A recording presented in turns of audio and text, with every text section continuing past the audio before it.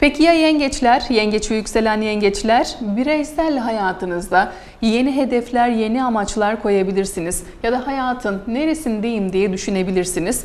Düşüncelerinizde de duygularınızda ne kadar kargaşa, ne kadar karmaşa yaşasanız da bu hafta itibariyle hayat yolunda artık yeni kararlar alıp toparlanıp, silkelenip kendinize geleceğiniz geleceğiniz bir hafta olacak. Sosyal çevre ve arkadaşlık ilişkilerinizde ise biraz eskiye dönük size oyunlar oynandığını yeni fark edebilirsiniz ve onlara olan güvenciniz, inancınız tamamıyla bitebilir. İyilikten başka bir şey yapmadığınız arkadaşlarınızın veya dostlarınızın nankörlük yaptığını görmek bu hafta itibariyle sizi üzebilir. Ama bu hafta bu arkadaşlarınızın ikinci yüzlerini gördüğünüz için aynı zamanda da şükür enerjisinde olacağınız bir hafta olacak.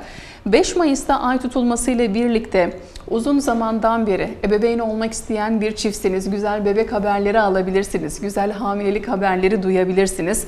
Ve özellikle ebeveyn olan yengeçler çocuklarının başarılarıyla e, gurur duyabilir. Onların gelişimleri, onların çabaları, onların bir konuyla alakalı vermiş olduğu emekler sizleri çok çok mutlu edebilir. Yani bu hafta itibariyle çocuklarınızın aslında başarılarıyla mutlu olurken onları yüreklendirmek adına daha fazla destek de olmanız gereken bir haftadasınız. Ve bu hafta birazcık da kendinize zaman ayırabilir, hobisel faaliyetler ve yeni kurslar, eğitimlere başlayabilirsiniz. Kariyer ve iş alanınızda bu hafta çok güzel imkanlar ve şanslar karşınıza çıkabilir. Hayatımda beklediğim teklifi aldım diyebilirsiniz. Özellikle bu hafta yıldızınızın parlayacağı bir hafta olacak. Belki iş arkadaşlarınız tarafından engellendiniz. Bazı konularda belki geciktirildiniz ama bu hafta itibariyle hepsinin yolun, yolunuzdan bir bir çekileceği bir hafta olacak.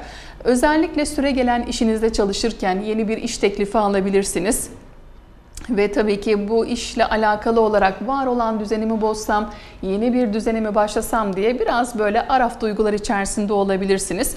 Süre gelen işinizde ise maddi konularla alakalı olarak e, dile getiremediğiniz bazı sorun ve sıkıntılarınız varsa işte bu hafta itibariyle bunları dile getireceğiniz bir hafta olacak. İkili ilişkiler ve aşk ilişkilerinizde ise fırtınalı günler yaşamış olabilirsiniz. Kendinizi ağır bir fırtınadan çıkmış gibi hissedebilirsiniz.